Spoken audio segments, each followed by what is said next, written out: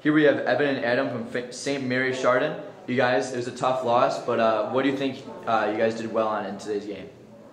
We did good shooting, did good passing. We got a lot of open looks. Awesome, that's great. So for tomorrow's competition, what do you guys think you can improve upon?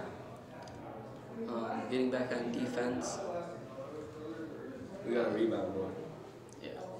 Yeah. Yeah, more. Great. All right. So in terms of the J.C. Morrissey Classic, what's your favorite part about this tournament? This is pretty nice. Um, the court. Um, I like playing in competition with blowing teams out there. Wonderful. That's great.